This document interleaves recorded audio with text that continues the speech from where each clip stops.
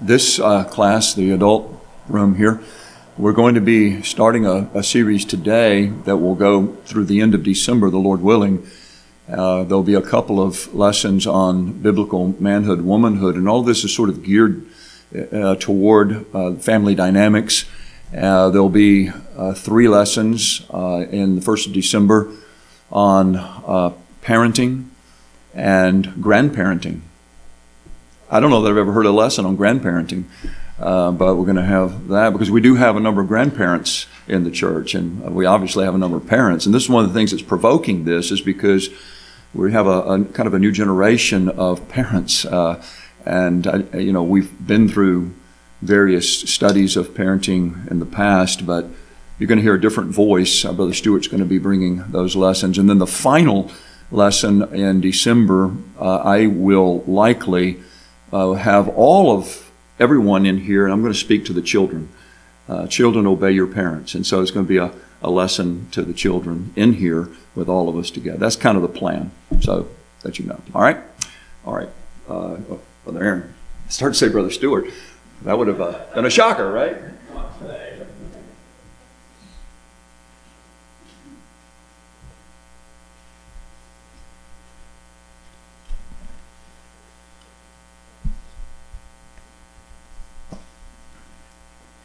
Good morning. Well, I've been assigned to teach on the subject of biblical manhood and womanhood. Not exactly a, topic that I, of my own accord, would choose to talk about, but it is an important topic that we should all not only know but seek to implement in our lives the knowledge of what a, a biblical man is uh, and what is a biblical woman. And that's a good, uh, well, a good question to start with in this, this lesson or this teaching is what does it mean to be a, a man? What does it mean to be a woman? What are the similarities between each? What are the differences, the distinctions between a man and a woman? What are the roles of men in society? What are the roles of women? What are the roles of men and women in the family? What constitutes a biblical marriage and why? These are, these are good questions to ask, to ask ourselves and to know the answer to. I mean, these are actually not just good, these are essential. We, we need to know the answer to these questions.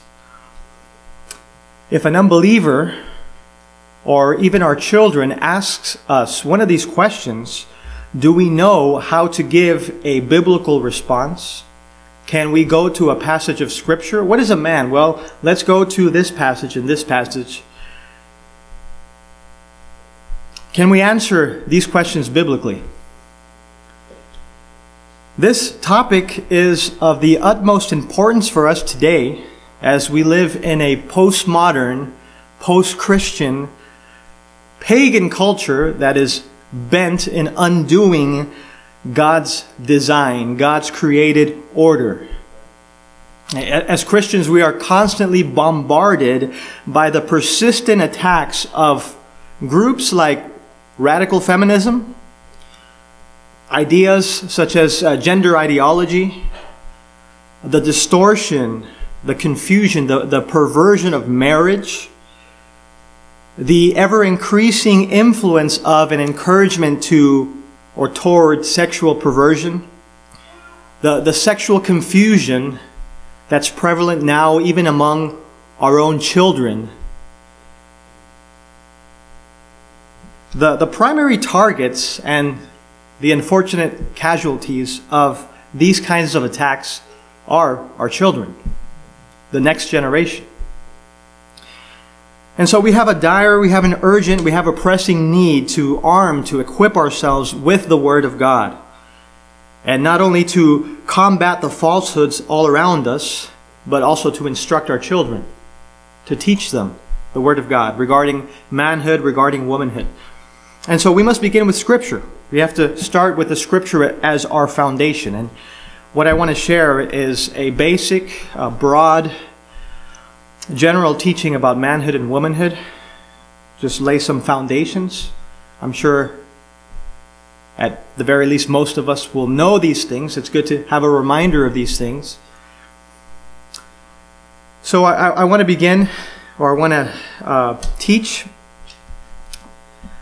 by means of two very simple questions, two foundational questions. How are men and women alike, and how are men and women different? What does the Bible say about this? So we'll begin with the first question. How and are men and women alike? And if we want to answer that question, the first place we need to go, if we're going to start uh, chronologically in Scripture, well, is Genesis chapter 1. So please ac accompany me to Genesis 1. Genesis 1:26.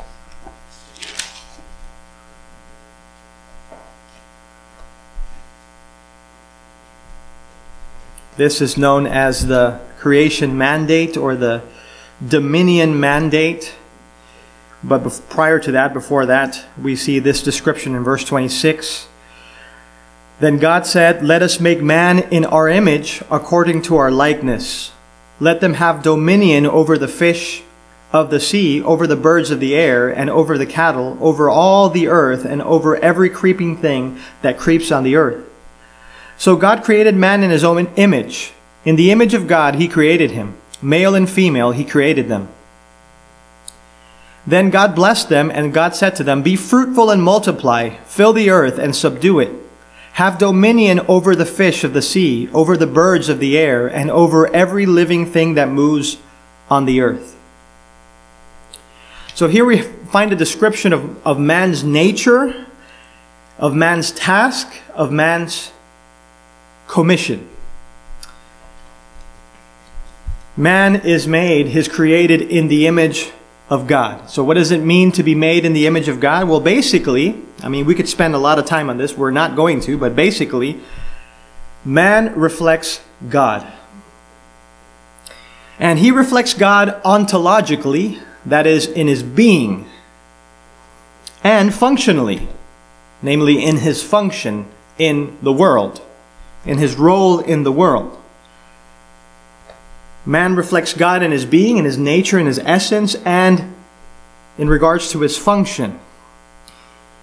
Man reflects God in his nature, that is, he is a moral being, he is a rational being, he utilizes his faculties of reason, he is a relational being, made to be in relationship, as we'll see. Man is self aware, Man exercises creativity. All these types of things distinguish him from the rest of the creatures, from the animals. Not to mention, man is a spiritual being with a spirit. So, in all these ways, we could say man reflects God in his being. And man reflects God in his function, as we read here. He is created to exercise dominion over every creature on the earth thus reflecting God's rule. God is the one who exercises dominion over everything, and man reflects this in his life, in his function in society and in the world. But I, what, what I want to bring your attention here to is that mankind, both male and female, are described as created in the image of God. Both reflect God in these two ways ontologically and functionally. In fact, what we see the, here and in the next chapter is that both together most fully reflect the image of God. So, what we see here is that they're both of equal importance and value, man and woman. One is not superior to the other, one is not of a superior nature, as some have taught that man is somehow superior to women they're, they're not of a, even of a different nature. Men and women have the same human nature. They're both made in the image of God. They, they're both, they both bear the image of God. So we don't see a hierarchy here. As regards to their intrinsic worth as creatures that bear God's image, there is no distinction. So this means, and this is this has massive implications, this means that whatever the Bible has to say about the distinction between the roles of men and women, about the headship of men, about the, author- the, the authority or, or leadership of men, or about the submission of women, whatever the Bible has to say about these topics, it, it is nowhere implied in Scripture that man is somehow superior to women. One sex is not superior to the other. They're equal in nature, they're equal in importance, they're equal in worth. And this equality, in fact, is only reinforced and even heightened under the new covenant. Let's go to Galatians chapter 3. Galatians 3, beginning with verse 28.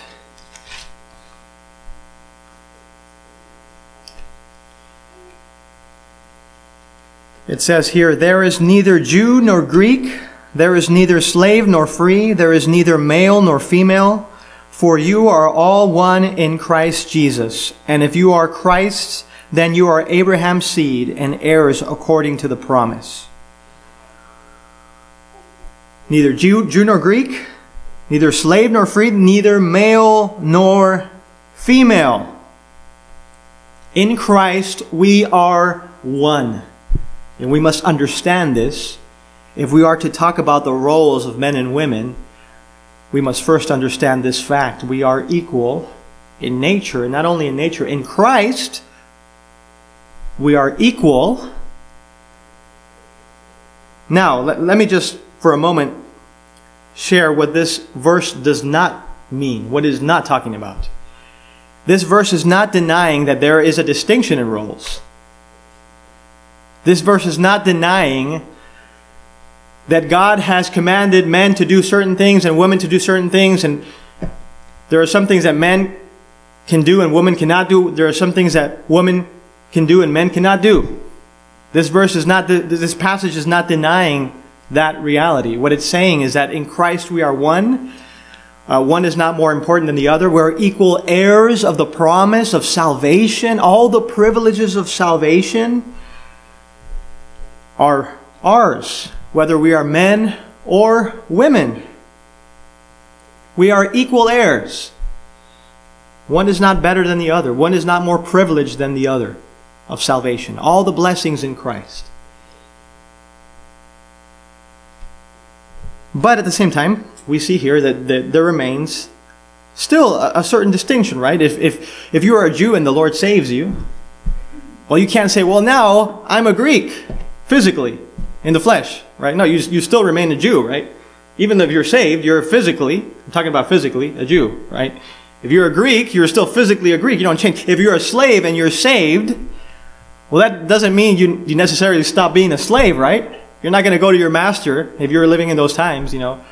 Well, master, I, I got saved and therefore I'm free, therefore I can leave. No, that doesn't change. Your role in society doesn't necessarily change because you are saved. But the fact of, of your privilege in Christ changes. You, you, you receive all these blessings equally, all the people of God.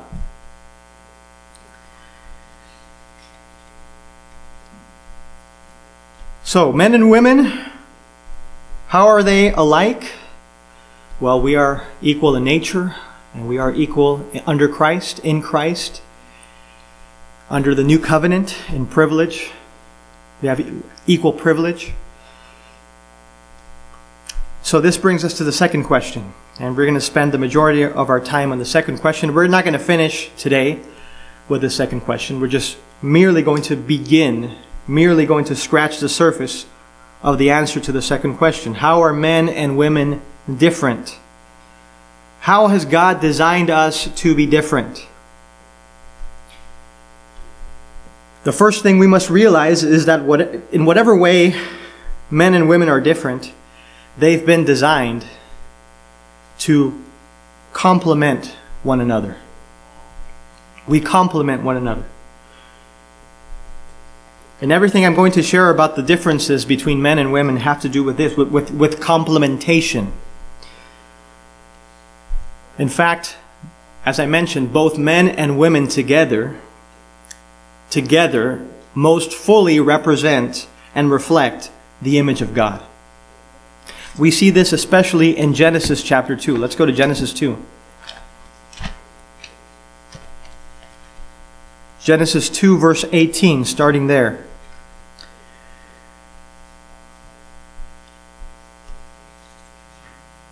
It says here, And the Lord God said, It is not good that man should be alone. I will make him a helper comparable to him. It's very interesting. In Genesis chapter 1, God makes the heavens and the earth.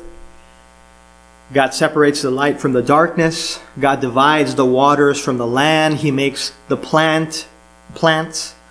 He makes day and night. He creates every sea creature. He makes all the beasts and creeping things of the earth. And God repeatedly says in Genesis 1, and God saw that it was good. God saw that it was good. God saw that it was good. God saw that it was good. And chapter 1 ends with the following. Then God saw everything that he, has, he had made, and indeed it was very good. All creation is very good. But we get to the next chapter and we zoom in on the story of man, on the creation of man, and we see that there's something that's not good. It is not good for man to be alone. Man has been created as an image bearer. He bears the image of God. He reflects God. And he is thus a relational creature. He is a relational being. God is relational. We see the, the relationship of the persons in the Trinity, the Father, the Son, and the Holy Spirit. They eternally enjoy intimate fellowship one with another. And man was created to reflect that. He is a relational being, and thus he needs companionship.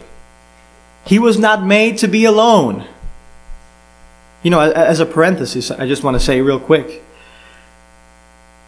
there are people who profess to be Christians who say, Well, I don't need the church. I can worship God on my own. I can worship God by myself. I even, uh, well, I, uh, in an internet forum many, many years ago, someone was asking about uh, the Lord's Supper. Some guy wanted to take the Lord's Supper by himself. And it just, I remember it started a whole debate, and, and, it was some Christian website. Because people were trying to tell him, well, the Lord's Supper, you know, you can't take it by yourself. It's, you know, and he, he wouldn't have any of that. He, he just wanted to take the Lord's Supper by himself. He, he missed the entire meaning of the Lord's Supper. we have not been made to be alone. We have been made to be with others in the community of God's covenant people. That's God's design from the beginning. And so we see Adam is a relational being. He needs, he needs companionship. It is not good for him to be alone. And so in verse 19 it says, Out of the ground the Lord God formed every beast of the field and every bird of the air and brought them to Adam to see what he would call them. And whatever Adam called each living creature, that was its name.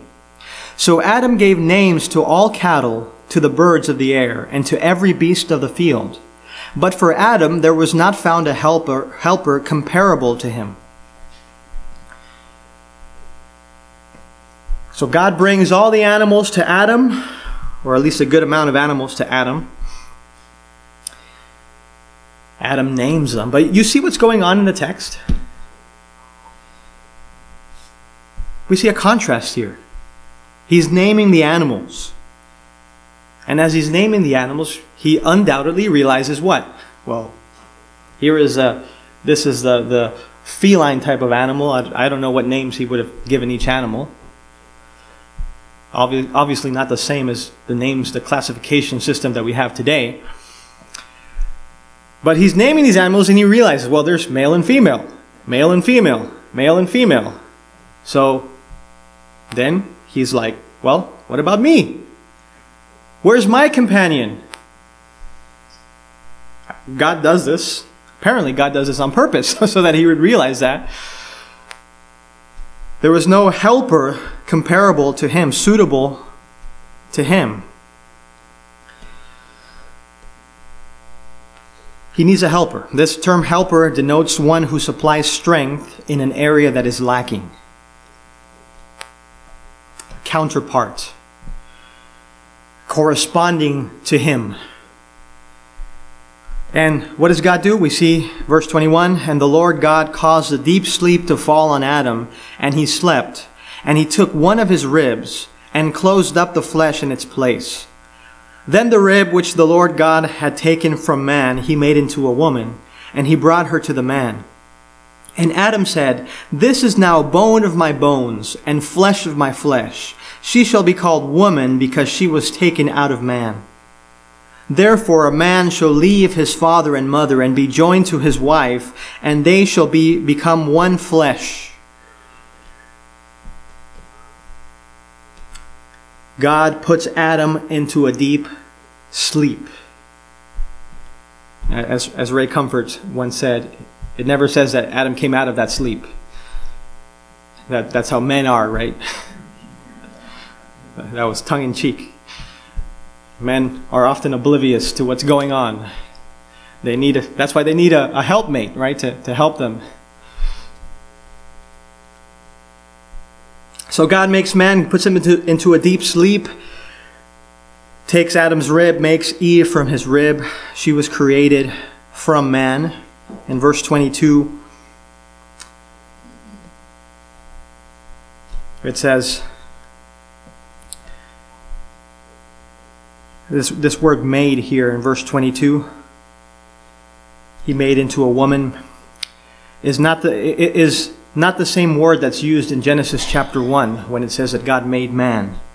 This word made means built and is used in the Bible in reference to architecture. So what it's, what, what it's telling us here is that woman was uniquely and intricately designed. She was formed, she was built, she was crafted to complement man. She was built from man to help him. And she's a part of man. That's why she's called woman. The Hebrew word, or one of the Hebrew words for man, is ish. And the word for woman is isha. So she, she's, she belongs to man. She's a part of man. And, you know, when they are united in marriage, there is a reunion, so to speak. The woman taken from man is now joined with man, and, and, and there is a fit right there. And when they're joined together in holy matrimony, they are described as becoming one flesh. And this word for one here is echad in the Hebrew, and this word describes a compound unity, a united or a unified oneness. And this is the very same word used in the Shema of Israel in Deuteronomy 6 4. Hear, O Israel, the Lord our God, the Lord is one. Many would argue, and I would agree with them, that the reference to God being one is a reference to his unified oneness.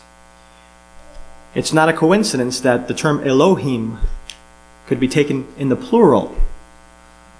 The Lord, Yahweh, our Elohim, our God, is one, is a compound unity. I believe that is one of the many little hints in the Old Testament that we get to the plurality of persons in the Godhead, the Trinity. And so, man and woman by themselves are the image of God, but when they come together in marriage, when they are one in marriage, they reflect the oneness of the Trinity, the unified oneness of the Trinity.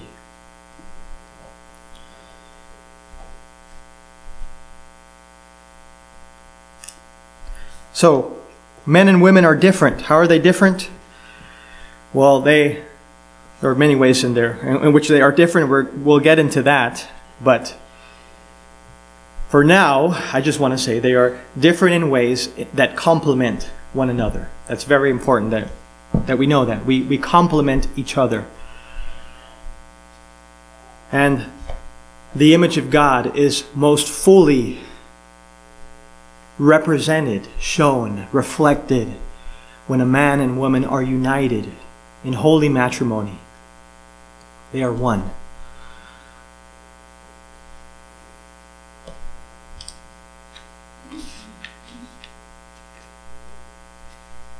So that should end some of the thoughts that men have against their wives or wives have against their husbands. Sometimes when they get into argument, they, well, I don't need you, I don't need you. Well, yes, you do. You need one another because you complement one another.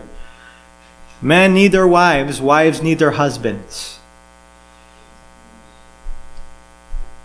So if we ever have a thought like that, we, we should put it to death because it is completely, totally against God's design and God's purpose for marriage. Your wife complements you. Your husband complements you. That doesn't mean there is a perfect complement, a perfect fit, because we live in a fallen world, right? And God, in His providence, will allow our spouses to have certain weaknesses that are kind of similar to our weaknesses sometimes. Not all the time. In, in many ways, our spouses complement us, but in some ways they don't. And God has designed it that way. He has allowed in this fallen world for it to be like that. Why? So that we may seek His help, so that we may be conformed to the image of Christ. Sometimes we want our spouse to have a certain strength because we have a certain weakness that we want that strength to complement, but they don't. They don't have that strength. They have a similar weakness to us. And we, we, we can be tempted to ask, why, Lord? Why is it like this? I wish my wife or I wish my husband weren't like this in this area. But God has done it that way so you would seek the Lord and so you would be conformed to the image of Christ so that you would be more like Him.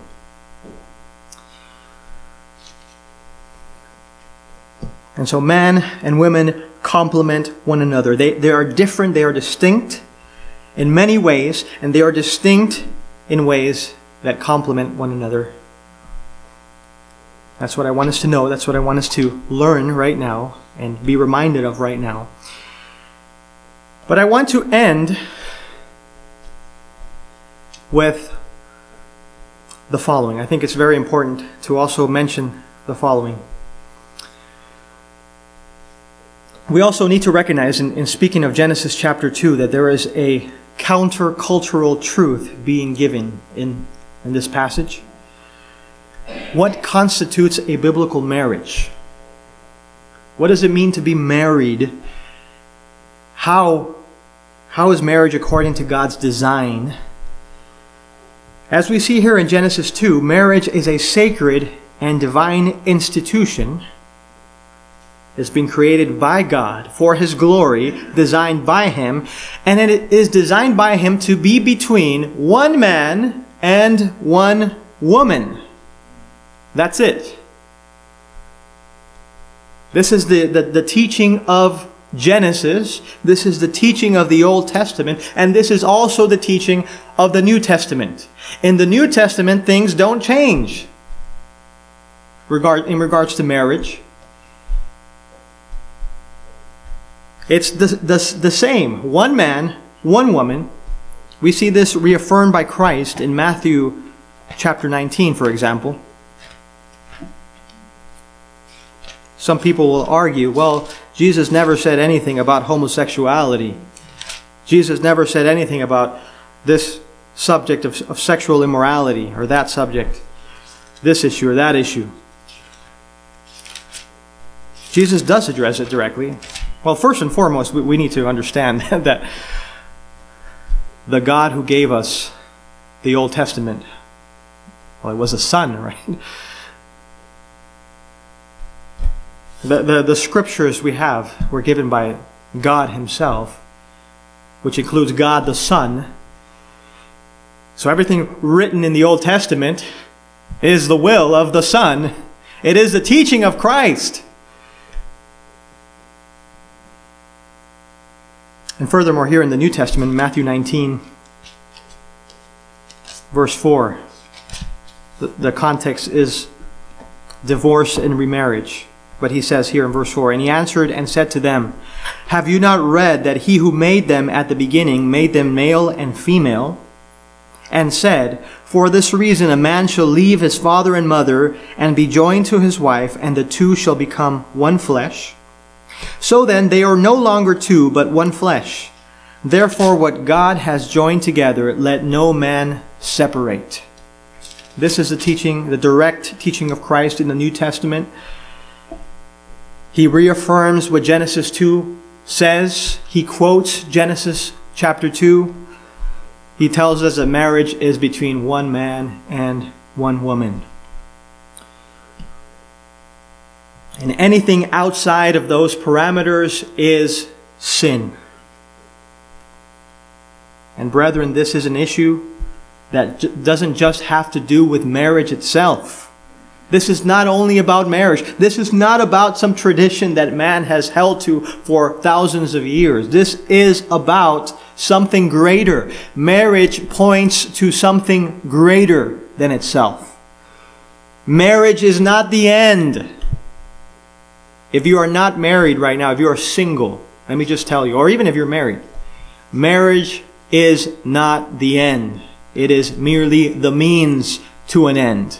It is the means to glorify God, and it is the means to accurately represent the gospel. Marriage is about the gospel. Let's go to Ephesians chapter 5.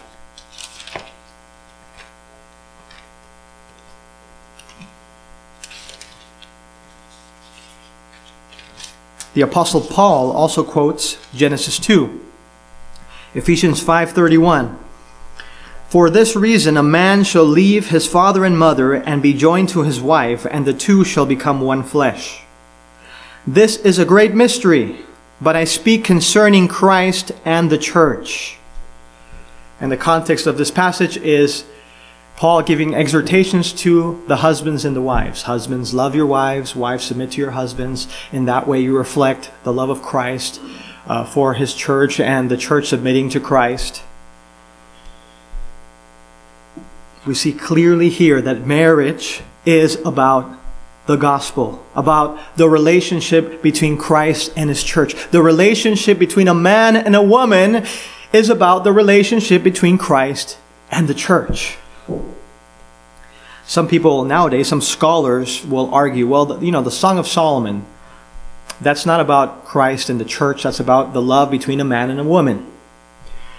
Okay, I will grant that. It is, it's about the love of, uh, between a man and a woman. But what is the love between a man and a woman about? So what is, I believe that the, the, this, uh, the, the Song of Solomon is pointing to Christ. And I, I don't see it as wrong or erroneous to use the Song of Solomon to talk about the love that Christ has for his bride.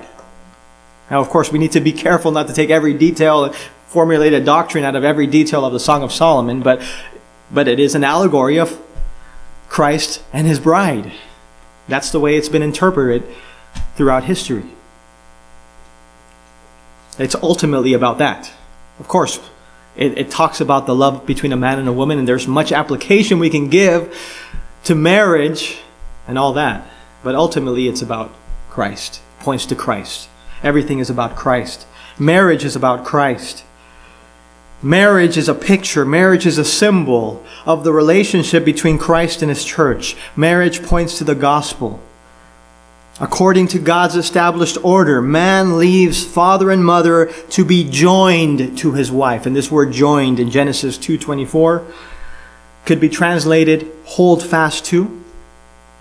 This word joined or hold fast to uh, is used elsewhere in the Old Testament to speak of covenant faithfulness. Israel had to hold fast to God's word and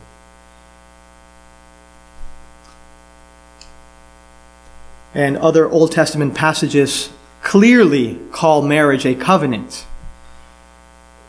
Man is joined to his wife in this covenant relationship and he's united with her. They become one flesh. They, they form this intimate, emotional, spiritual, even physical covenant bond. which is, of course is demonstrated, represented by their sexual intimacy. And this covenant union is a picture of Christ and his church. A man leaves father and mother to be joined to his wife. Christ left his father's heavenly presence to come to earth. A man is called to lay down his life for his bride, as, as we see in the New Testament, like in, in Ephesians 5. Christ laid his, his life down for his bride, the church. Christ is the bridegroom. He comes to redeem his bride. He comes to cleanse her that she may be, be without spot or wrinkle, that she may be holy and without blemish. Then he returns to heaven to prepare a place for her. One day he will come back and he, he will come to consummate, consummate his union with his bride in what is known as the marriage supper of the Lamb. We, his church, will spend eternity in intimate fellowship with our God in the new creation. The last Adam, the last man, is united with the last Eve, so to speak. Brethren, every detail about marriage, from the fact that it's between one man and one woman to their holding fast together in a covenant bond, to the reality of them being one flesh, to the love that uh, the husband has for his bride, to the submission of the bride to her husband. Everything is pointing to Christ and his relationship to his church. Everything points to the gospel. Therefore, whatever seeks to call itself marriage, but sets itself outside of these parameters between one man and one woman in covenant union, is an affront to the gospel. Sexual perversion of any kind, whether heterosexual or homosexual, is an attack on the very gospel of our Lord Jesus Christ. The perversion of marriage is an attack on the gospel. Brethren, why are we to take seriously the sexual abominations encouraged and promoted by our culture? Because it is a gospel issue. It's a gospel issue. We are not to be lackadaisical, apathetic toward what we're seeing right now, currently in society. Men with men, women with women, rampant fornication everywhere encouraged everywhere in the media, in our, our uh, computer screens, television screens, in our phones, pornography everywhere. The confusion and complete distortion of gender and sexuality, even among children. Pedophilia being increasingly embraced in some circles. Women getting married to their cat. This is, yeah, it's actually going on. And we, we laugh at that, but it's, it's horrendous. We, we laugh at the absurdity of that. But you know what? It's, it's horrendous.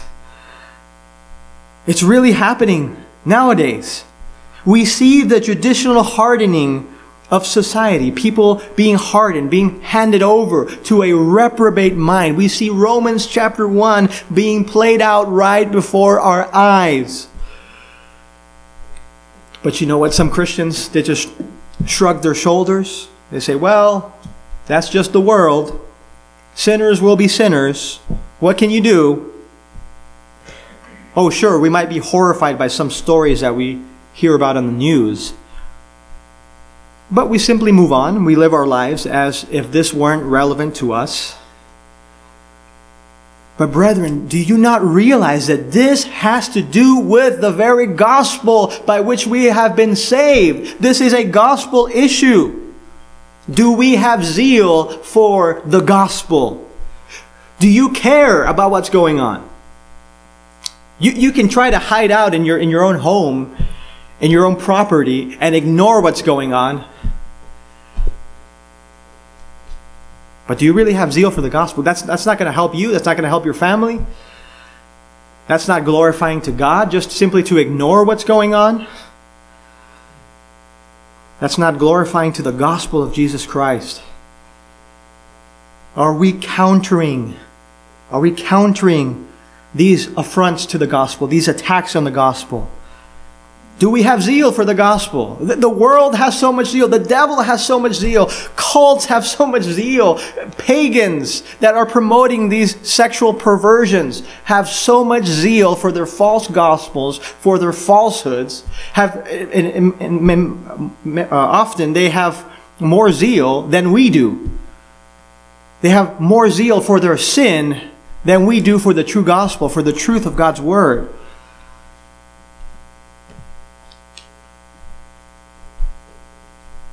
Do we have zeal for the gospel?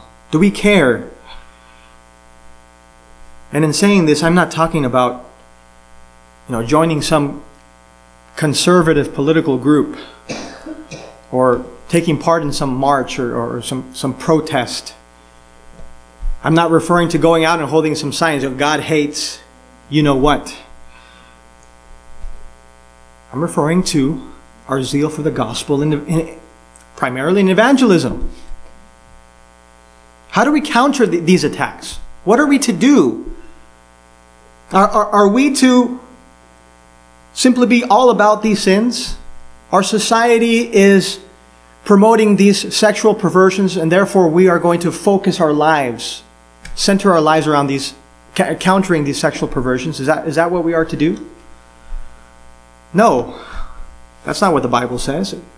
Now, we are to rebuke sin. We are to reprove sin. We are to compare sin with the Word. We are to denounce the sins of our society. We are to be like John the Baptist in that sense. Call people to repent. We are to denounce the, the proclivities and perversions of our culture. But we are not to center our lives around those sins either. That's to go to another extreme. We are to focus on the gospel. Why? Because it's the gospel that is the power of God to save. Simply preaching against sin is not going to save. The gospel saves. The gospel is our primary weapon, primary weapon of our warfare that pulls down strongholds, that destroys specula speculations and every lofty opinion that sets itself against the knowledge of God. The gospel takes every thought captive to the obedience of Christ. Yes, rebuke sin. Yes, denounce sin. Yes, call sin what it is. Man, be bold about it. But preach the gospel. That should be the emphasis of our message.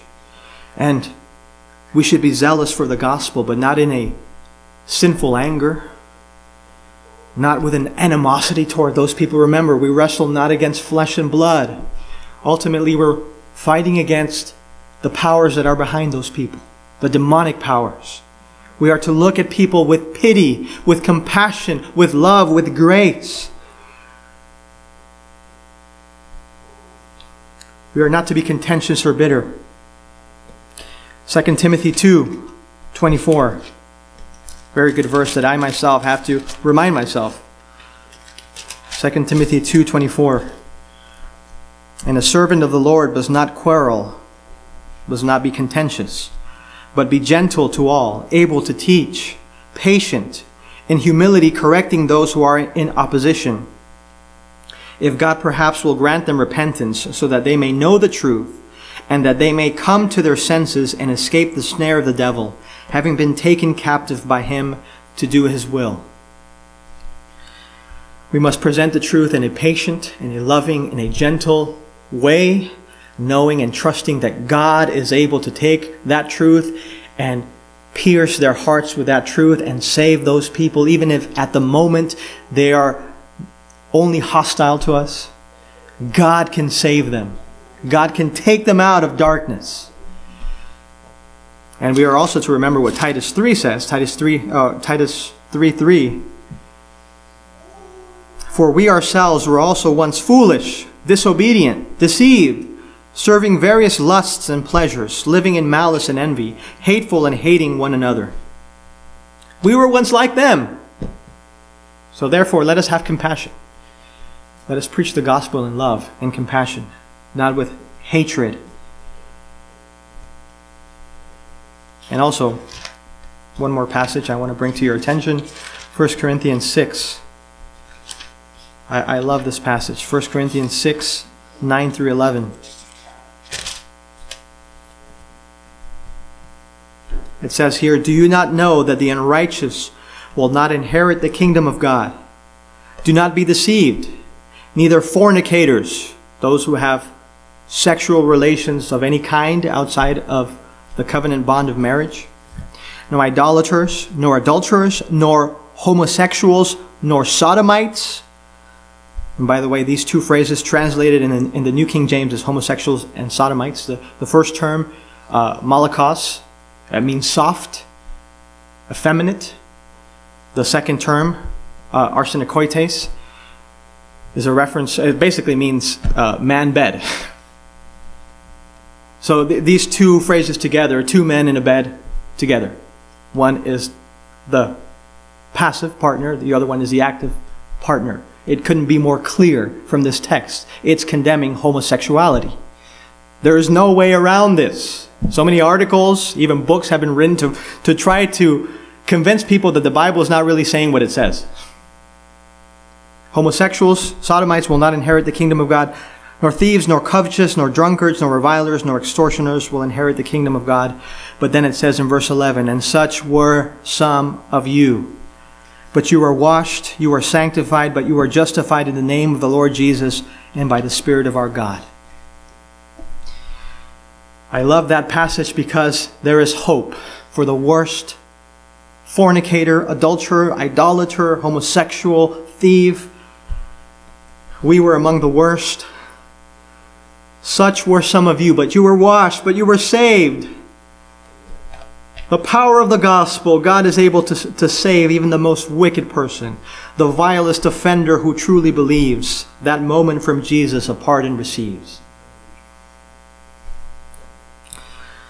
So we are to know these. How are, to, how are we to counter the perversions of manhood and womanhood in our culture with the gospel and having compassionate love, gentleness toward those who hate the gospel, those who come against the gospel through their perversions, and knowing that God is able to even save the worst of sinners. And we are also to counter the, the, the perversion of manhood and womanhood in our, in our culture by having a zeal for the gospel in our own hearts, in our own families, in our own homes? What are we letting, what are we permitting to come into our minds? What are we watching on television, through movies, on the internet? What are we allowing ourselves to see? Oh, you can go out and preach the gospel all day, but if you come home and you're there and you and you just can enjoy a movie with sex scenes. You are you are working against the very gospel that you were proclaiming. You're finding entertainment in the very sins for which Christ died. And it's even worse if you allow your, your family, your wife, your children to see these things. And I, I know I'm kind of opening a Pandora's box there, and we can get into a whole big topic of Christian liberties and conscience and all that Uh, in gray areas. But I'm not talking about that right now. I'm, I'm talking about things that are black and white, clear. This movie has a sex scene in it. Can I, can I watch that? that? That's like watching pornography. Uh, in fact, that is pornography. How can you watch that with a clean conscience? Zeal against the gospel also entails having zeal, uh, not against the gospel, sorry, for the gospel, against sexual perversion also entails battling. Battling this sexual sin in our own hearts and, our, and, and coming against it in our own homes. Psalm 101 says, I will set no, no wicked thing before my eyes. I hate the work of those who fall away. It shall not cling to me. A perverse heart shall be far from me, from me. I will know nothing of evil. We are to run from evil. We are to flee fornication, flee youthful lusts. Not run to it. Not see how far I can get to the line. how far can I watch? And it's, it'd be not a sin. You, you don't want to get close to the line. You want to run far from the line. And you don't want to cause your children to stumble. So I, I know I got off on this big tangent here, but I think it's a necessary tangent regarding manhood and womanhood, countering it with the gospel of Jesus Christ. And next week, Lord willing, I will share more about the differences between men and women and why it's important, how we can apply that to our lives. Let's pray.